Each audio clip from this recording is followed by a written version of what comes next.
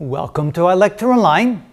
Another cornerstone of the theory of general relativity is gravitational waves. They were predicted by Einstein and first indirectly measured by the slowdown of two pulsars revolving, revolving or rotating about one another.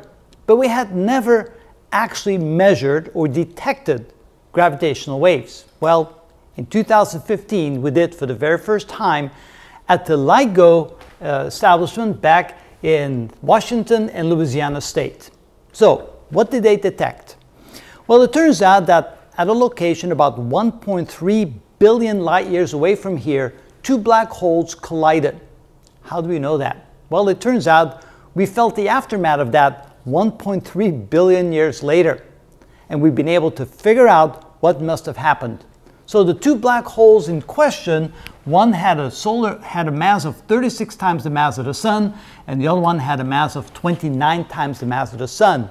So they approached one another, not directly. They began to revolve around one another.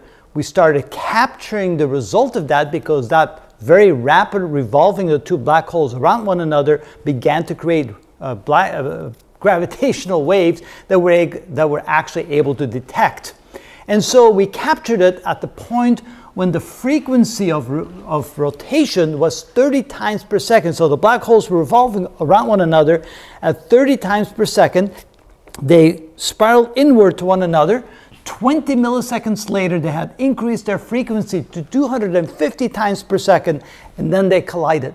That event was captured because that created gravitational waves that then traveled through the universe through a distance of 1.3 billion light years for 1.3 billion years until they finally reach Earth. And at that moment, in 2015, we detected the gravity waves passing by. Notice that the wavelengths of these waves are very long. If we take the speed of light divided by the frequency, you end up with some very long waves. So they're very large in length or in wavelength, but they're very, very tiny in amplitude, and that makes them so difficult to detect. So what we have here is we have the two uh, research centers of LIGO, one in Washington, one in Louisiana State. They detected the gravitational waves seven milliseconds apart, and that is the requirement. If they're not within 10 milliseconds, then they're not measuring the same event. A slight little earthquake in the vicinity of one of them could set off the, the, uh, the experiment in such a way that we might think we're measuring gravitational waves, but the reason why we have both of them 3,000 kilometers apart is that they would detect the gravitational waves from some place in the universe at least or not more than 10 milliseconds apart. So in this case, it's 7 milliseconds apart, and it, it depends on the angle of approach relative to the location on the surface of the Earth where the two research centers are. The way these work is they have buildings that are four kilometers long at 90 degree angles. So there's two of those, one in Washington and one in Louisiana State. And they send laser beams from the corner into one direction and back. So they reflect off a mirror and they come back. Then they send them in the other direction and come back, and they do that at the same time. And they make them go back and forth many, many times. The reason why they're at 90 degree angles is because at both ends of them, there is a target that is able to capture the gravitational waves. It's a very heavy object that will swing along with the gravitational waves, thus changing the length of that path from here to here just ever so slightly. How slightly? Well, that's the incredible amount. The amplitude of the oscillations expected from these gravitational waves are in the order of about 1 1,000 the diameter of the nucleus of an atom. You start wondering, well, how can you measure those very tiny little fluctuations? Well, the way it's done is that when you send wavelengths back and forth, and in uh, this end, for example, it swings back just a little bit so that the distance is slightly longer. It takes a little bit longer than for the light to go back and forth. They make it do it many, many times, thousands of times perhaps. And over the accumulation of traveling that extra distance, each time they go this way and back and this way and back, the two light beams that go back and forth like this, eventually one of them gets slightly out of phase with the other one, just enough so that we can measure the difference. And once we can measure the difference, we then have established that we detected gravitational waves. Of course, that has to happen at the same time at both places, both in Washington in Louisiana State. And that's exactly what happened. seven milliseconds apart. It's just unbelievable to think that we captured an event that happened 1.3 billion years ago, seven milliseconds apart at two locations about 2,000 or 3,000 kilometers apart, 2,000 miles or 3,000 kilometers apart. So that established for the first time the realization that we can capture these gravitational waves. They do exist, they travel through the universe all the time. The vast majority of them are undetectable, at least at this point, except when they occur because of some catastrophic event, when we have two fairly large, these are kind of like medium sized black holes, when they collide, the event caused such a ruckus, so to speak, in the fabric of space that they caused the gravitational waves to exist large enough for us to be able to detect them.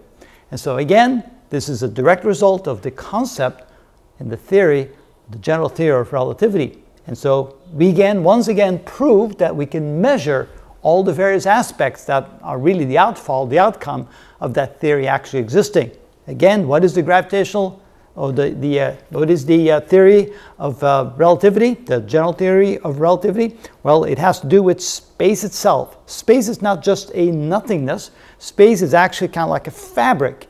And what happens is when you put objects in that fabric, that fabric bends or warps in such a way that it causes gravity. And then we shake these things around. When you take a star or, or an exploding star, for example, it shakes the fabric of space around it that causes gravitational waves, which then ripple through the entire universe, and we can actually detect them. And that is the result of the theory of the general theory of relativity. So when they measure that, were they Oh yes, they were. So these these uh, two uh, research centers at both locations, they're constantly on the alert, so to speak. So they're constantly functioning, and they start detecting slight vibrations. Quite often, the vibrations are not due to gravitational waves. They could be because there's a slight little earthquake or a truck drove by nearby, although they are at very remote locations. But if they both detect the same kind of thing within 10 milliseconds of each other, then they know that they have gravitational waves. It wasn't like they knew that was coming. There's no way to predict it. There could be all kinds of gravitational waves coming our way right now. and at some point, they'll just come right past us. Remember, they travel really fast. They travel at the speed of light. So at one second, they'll be at the moon, and one second later, they're at the Earth, and one second later, they're 300,000 kilometers away from us. So they just pass right by us, and we have to capture it at that very moment, and it's impossible to know that they're coming.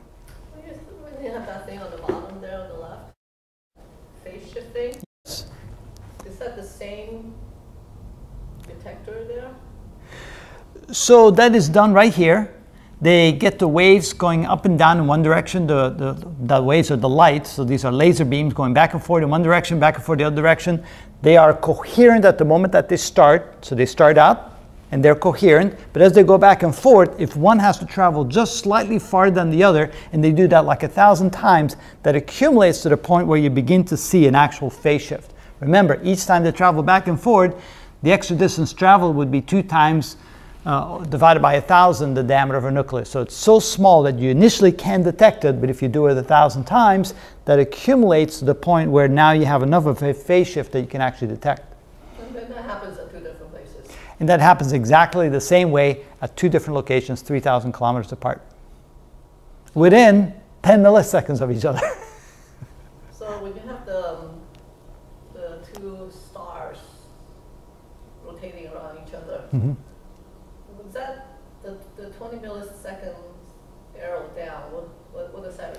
So what I'm saying is that so as they're getting closer and closer, they're revolving around one another, they're faster and faster and faster. We started capturing the waves at the point when the frequency of rotation was about 30 seconds, 30 times per second. So they were going around one another about 30 times per second, and then they went faster and faster and faster. So in the short period of time of about 20 milliseconds, they went from a frequency of rotation of 30 times per, uh, per second to 250 times per second and then eventually they collided together. That's very fast. Thinking that how large these objects are 36 times the mass of the sun and 29 times the mass of the sun. Can you imagine two objects like that revolving around one another at 250 times per second? it, it is just an, an, absolutely incredible event. What's the distance apart? Uh, that is hard to determine. Um, it's we're probably talking about when they get that close at 250 hertz.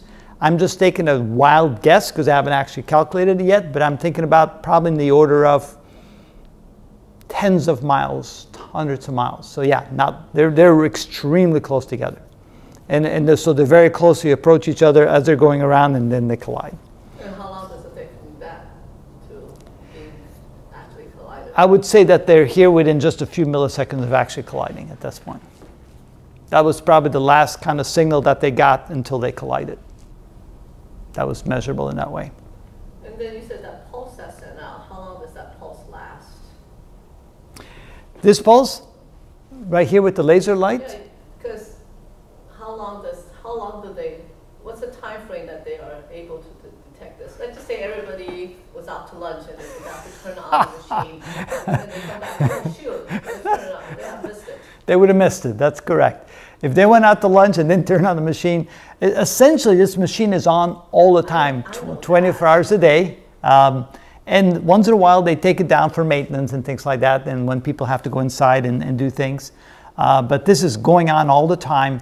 The event, remember, the, these waves travel 300,000 kilometers per second. So But how long does it's, it's, it's a flash. It's, a, it's like a, it's like a very tiny fraction of a second. This whole event lasts a very th- small fraction of a second. So about 20 milliseconds from early detection to final detection to the collision. So the whole event lasted somewhere in the neighborhood of, who knows, 30, 40 milliseconds. So this 30, 40 milliseconds have been traveling for 1.3 billion years. 1.3 billion years to capture that very small fraction of a second of an event going through the universe. So when they go through universe, does it go through universe in a spherical direction everywhere? Say an alien being from another direction could have detected the same thing.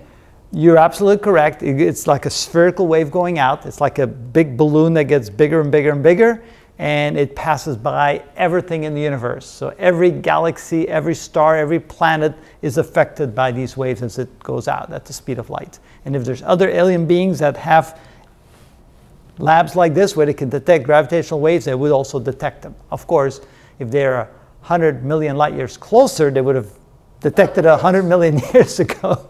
But yes. But then if they were further away, they didn't know about it yet. They don't know yet. That's right. And so that, uh, and it just goes to the universe. And yes, everybody eventually, if they um, have the capability of measuring that, will eventually measure that anywhere in the universe. Yeah, that I mean that's to me the most incredible thing that this has been on its way for 1.3 billion years, and that we can actually measure that very moment in time, 1.3 billion years later. But that proves that gravitational waves exist.